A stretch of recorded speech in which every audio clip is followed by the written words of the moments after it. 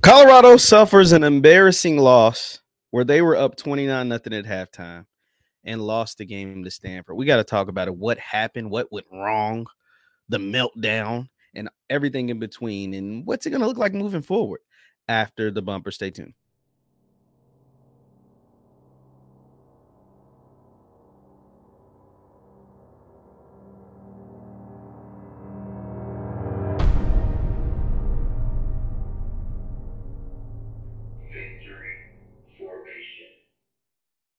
What is going on, everybody? What is going on, everybody? My name is Jeff Lightsy Jr. This is the Victory Formation Sports Show right here on Jeff Lightsy Jr. YouTube, Facebook, wherever you get your content. Do me a favor, hit that thumbs up button, like, share, subscribe, notification bell because we upload all the time. The Colorado, Coach Prime, Deion Sanders, and the Colorado Buffaloes were up 29 to nothing at halftime against Stanford on Friday night.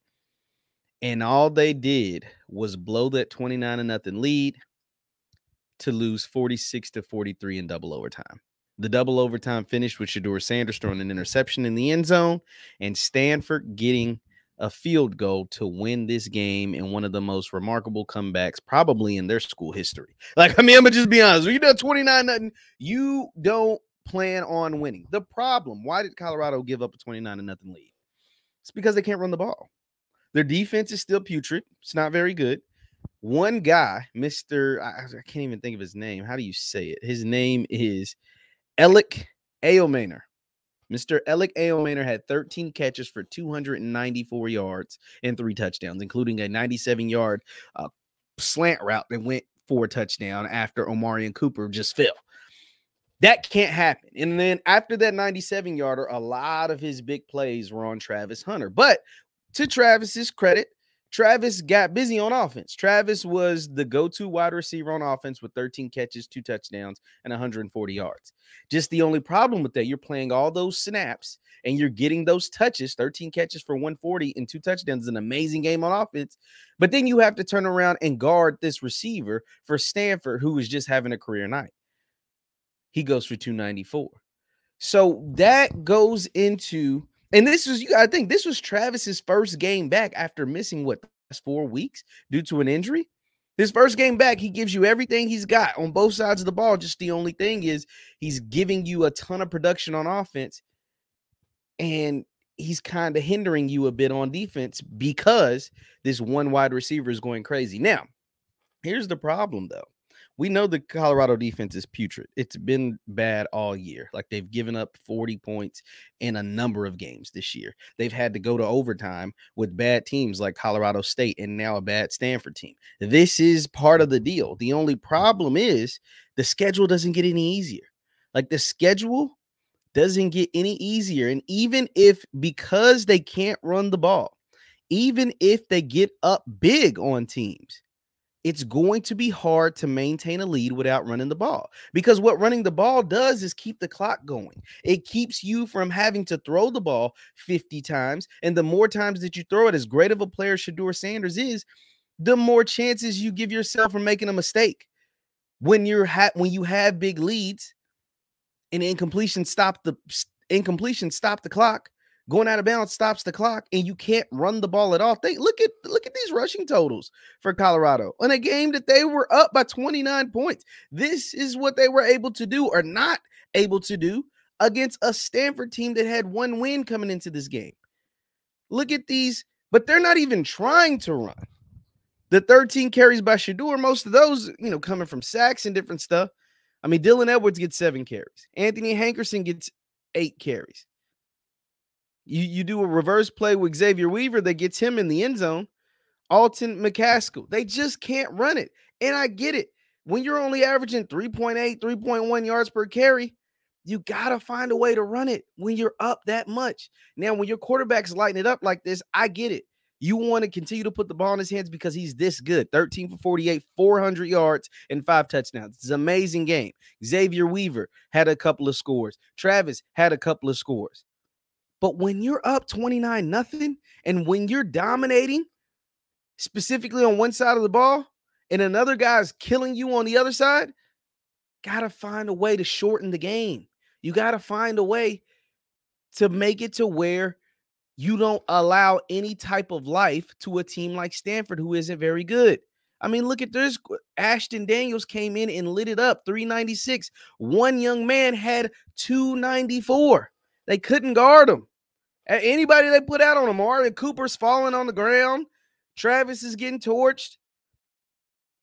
This this is a bad loss. This is a really bad loss for Coach Prime in Colorado. And as much as love and the attention that they were getting, he even said it. People were waiting for this to happen. They didn't believe that Colorado was as good as the numbers were showing, as far as how many people were tuning into their games and the wins that were being racked up. Well, now losing a game like that, you struggled against Arizona State. That was the first indication that mm, I don't know, this ain't looking too good. You know, you you you got blown out by Oregon, and then you came and made it really competitive at the end with U, USC. Now USC has proven that they just can't stop anybody. But then you struggle with Arizona State and you lose to Stanford. Now you're going to you're staring down the rest of the season that has some really really tough games left. Like you're staring down the rest of the season where you could go on a losing streak. You get a bye. It's a perfect time for a bye. I know Prime said, uh, you know, you want to. He wish he could play next week. No, you guys need to bye. You guys need to get guys like Travis healthy. You need to get a better scheme on defense. Find the proper personnel, whoever that may be on the roster for that defense. You need this bye. This bye's coming at a, at a perfect time. But after the bye, you get number 25 UCLA. You follow that up with number 12 Oregon State. You follow that up with an Arizona team who has played really, really well in recent weeks. That should be a win, but it is going to be a tough game a Washington State team that was previously ranked just fell out the rankings, and you end the season with a team like Utah, who is one of the best teams in the Pac-12.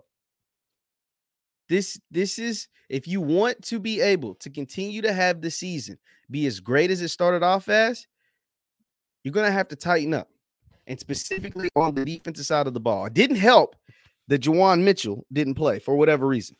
That clearly was a big big loss to not have Mitchell out there in this game, in a game that you should have won even without him.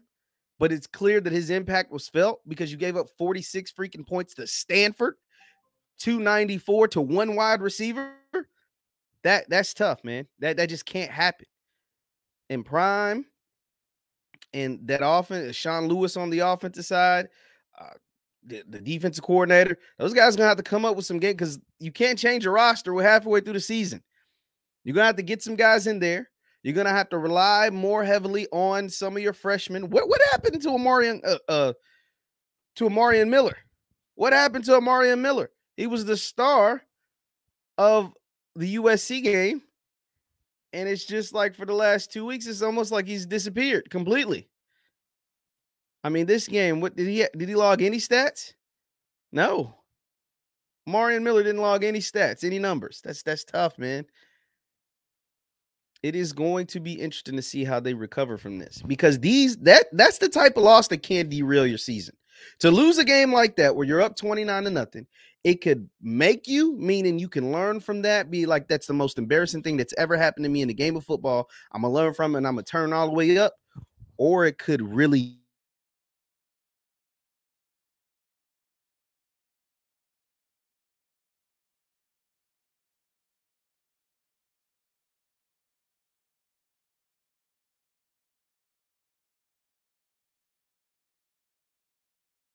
loss and you lose.